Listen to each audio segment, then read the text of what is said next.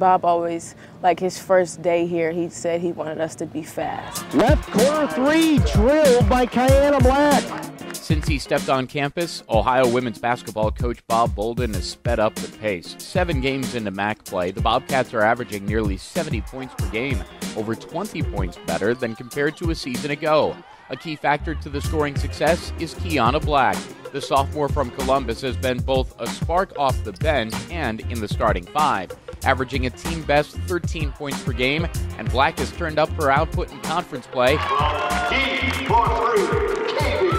averaging over 15 points in league games. When I'm hitting shots and making them, I just keep shooting. It's just, it's the best feeling ever when you're making shots because it's just like you can throw the ball in the ocean.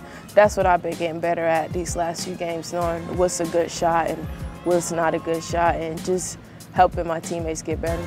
This season's hot start is a product of fixing a problem that she didn't even know she had. In 2012 13, Black underwent season ending surgery. I thought it was just like something that comes with basketball, like, because I've always had bad knees, even in high school. So we decided to get an MRI, and then it came back that I had torn my meniscus, which the doctor had said that I had torn in high school. So I had knee surgery. They had went in, did some knee scopes, shaved some things off, and then I was out for about six weeks. For all athletes, the surgery is frustrating. The rehab process is slow and strenuous, but Black's return to the court has been a triumphant one.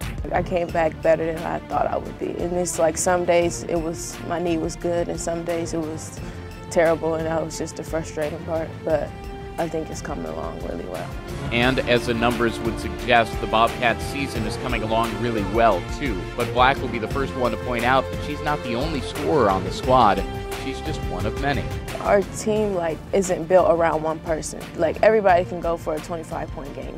any night anybody can go for that. I just think that's what makes us a threat because everybody can score and I just do whatever I need to do for my team, whether it's shooting, driving, passing, screening, rebounding, whatever. If Black and the Bobcats keep scoring like they have been, it will be an interesting completion to conference play, hopefully culminating in points and wins in Cleveland.